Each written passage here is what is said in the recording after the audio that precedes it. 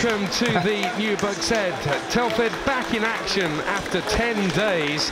It seems uh, an age ago since Telford managed to get that one-all draw away against Alfreton. As a reward for his equaliser, Chris Sharp starts for Telford this evening. They're against an Ebbsfleet side down in 22nd place in the conference, but they do have plenty of really good players in their side, including Moses Ashikodi and Nathan Elder. So the uh, referee about to get us underway. We're live here on BBC Radio Shropshire. The referee is Ben Toner. Telford will be kicking from our left to right. Telford playing in their white shirts, black shorts and black socks. And Ebbsfleet playing in their red shirts, white shorts and red socks. Telford on the attack, down the left. Jordan Rose picks out centre me. Taken out wide by Steve Leslie down the left wing. Telford on the charge here back to Will Salmon and he's crossed straight into the hands of the uh, goalie who catches it comfortably. Telford with the likes of Sharp and Centre-Me take it in turns in, in dropping off the centre-backs can could well cause some problems. Here is Chris Sharp, a good ball again from left to right. Sharp in towards the Ebbsfleet penalty area and he'll keep it in play on that left wing. Knocks it back to Leslie. Good ball in, and a header, and an early goal. Steve Jones. Lovely ball whipped in by Steve Leslie. It was all too easy for Telford. Steve Jones popped up on the far post, directed his header in. He's Telford's leading scorer, and it's a dream start. Five and a half minutes gone. Telford lead by a goal to nil. Well, a dream start for AFC Telford United and their leading scorer, Steve Jones, who for me, he just gets better and better since joining for uh, Telford. And uh, what a start it is for them. Jones is the leading scorer for the Bucks.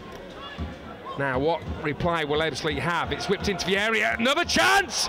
And an equaliser at the other end. It's Nathan Elder. It's carbon copy of the goal that Telford scored. Whipped in from the left-hand side by Joe Howe, the left back who was granted too much room. It was an early ball in, Elder on that far post, and now that's his eighth goal of a season. Carbon copy, Steve, of the goal that Telford have just scored, and now it's one all.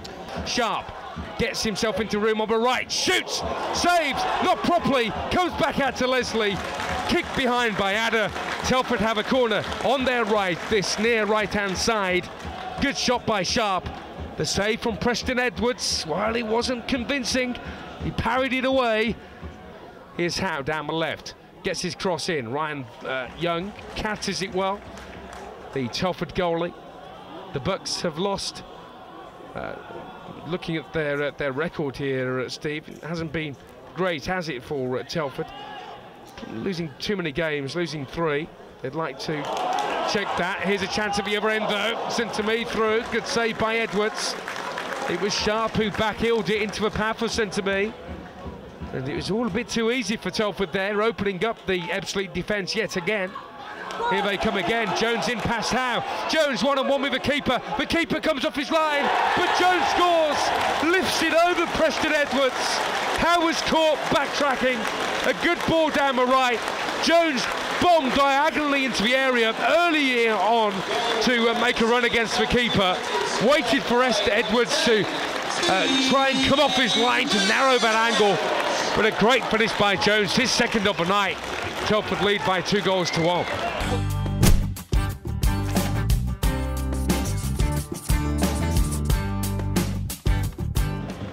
Referees just about ready then. Live coverage here on BBC Radio Shropshire on DAB and online. We welcome our listeners uh, from uh, Kent as well, the Ebbsfleet fans tuning in wherever you are listening, whoever you follow. It's a pleasure to have your company. Telford 2, Ebbsfleet 1. Quite a tight game. It could go either way, but Telford are leading by two goals to one. An early ball forward by Will Salmon, looking for Chris Sharp. Cut out by uh, the Ebbsfleet man. Hints that they've got problems with their pitch because uh, I think a game against Wrexham was called off. Now, here's Enver Madam, gets past Rose, good ball pulled back. Here's Carew inside the area, six yards out. Telford close him out here. Carew's blocked off, and now he's looking for company. They appeal for a penalty. They're going to get it. Oh, well, what a terrible mistake by Telford. A push on Carew, who is going nowhere, running away from goal. Ordered to take it. He could move on to eight set goals.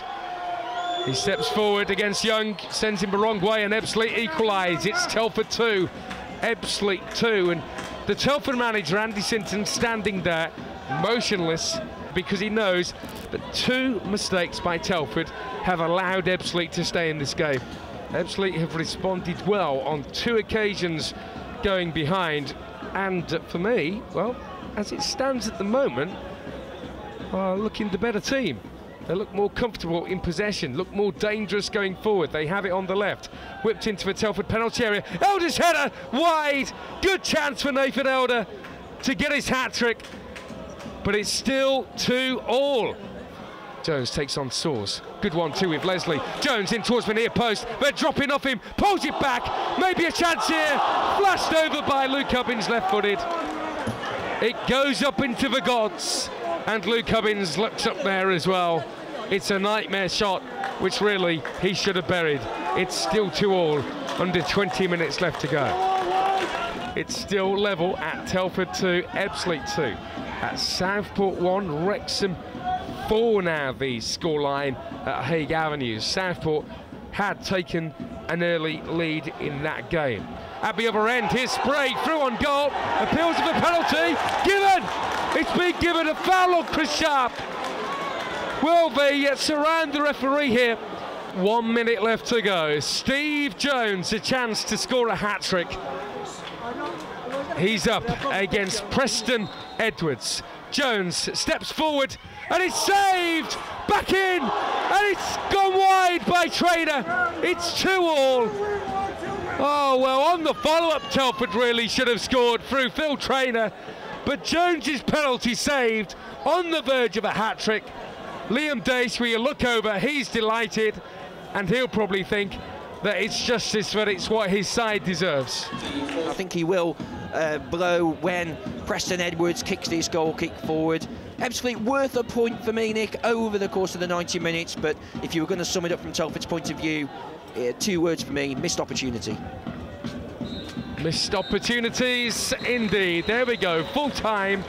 Both managers shake hands, and uh, there we go. So it's finished two all.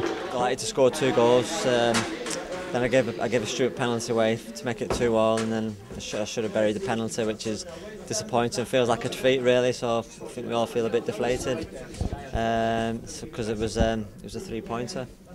And like you say, the penalty at the very end, but to credit to the goalkeeper, he made a good save. It was kind of, you know, and, and obviously disappointing, but good save, and, and you move on to next week. But scoring goals and doing well. Yeah, I've took penalties before and scored, and uh, I felt confident. Uh, wanted the hat trick, and um, obviously it's disappointing. I feel like you, have let the, the teammates and the manager and the fans down, but hopefully um, on Saturday we can we can get a win and get some more goals. And you've been in good goal scoring form of late, you know, if you're contributing on a regular basis and you must be pleased with that. Yeah, I'm pleased. Um, it would be more pleasing if uh, we got the three points. I think we've, we've drawn the last four or something like that. Um, but um, we, we desperately need to, to get three points on, on the board and tonight was, was a missed chance.